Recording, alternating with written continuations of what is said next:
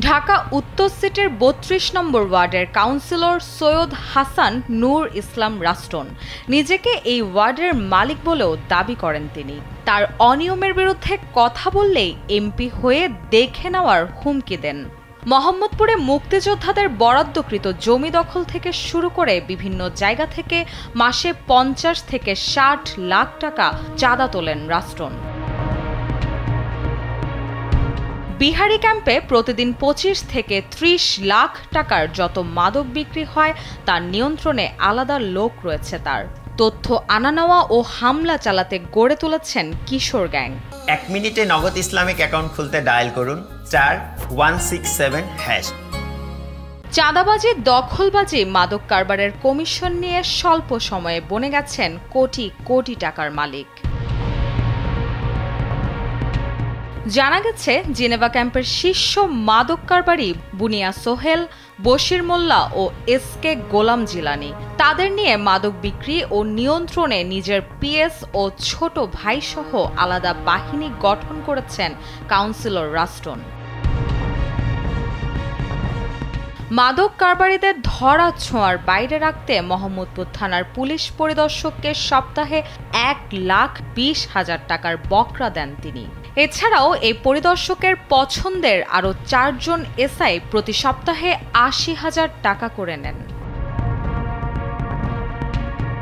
প্রতিদিন বাবর রোড, কাঁচা বাজার, খিলজি রোড, কাঁচা বাজার এসব এলাকায় প্রতিটি দোকান থেকে প্রায় উনত্রিশ হাজার টাকা চাঁদা তোলে রাষ্ট্রনের লোকজন। নানক চত্বরের আশেপাশেও ফুটপাতের দোকান থেকে প্রতিদিন দশ হাজার টাকা চাঁদা তোলেন। এছাড়া আসাদ গেট ও শ্যামলী এলাকায় প্রায় দুই ডজন আবাসিক হোটেল আছে, যেখানে চলে অনৈতিক কাজ।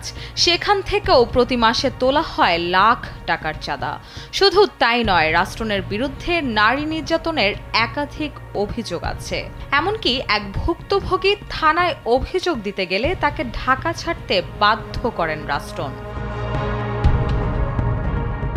এসব বিষয়ে বত্রিশ নম্বর ওয়ার্ড কাউন্সিলর রাষ্ট্রনকে জিজ্ঞাসা করা হলে তিনি কালবেলাকে বলেন, বহু চেষ্টা করেও ক্যাম্পে মাদক বিক্রি বন্ধ করতে পারেননি। প্রশাসনও সব জানে বলে অভিযোগ করেন তিনি।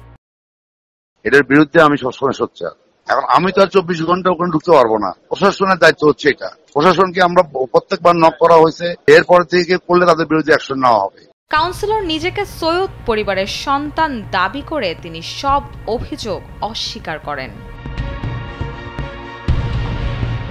স্থানীয়দের অভিযোগ, জেনেভা ক্যাম্পের নয়টি সেক্টরের সবকটিতে মাদকের আলাদা ডিলার, ম্যানেজার, প্রশাসন ম্যানেজ করা লোক এবং বিক্রি করার জন্য আলাদা লোক রয়েছে রাষ্ট্রনের। প্রশাসনের হাতে কেউ ধরা পড়লে তাকে ছাড়ানোর ব্যবস্থাও রয়েছে। এ লক্ষ্যে ক্যাম্পের মাদক কারবারিদের নিয়ে একটি ফান্ডও তৈরি করা হয়েছে। প্রশাসন মাদক বিক্রির টাকার ভাগ পায় বলে ধারণা স্থানীয়দের। রুশাসুর কালবেলা।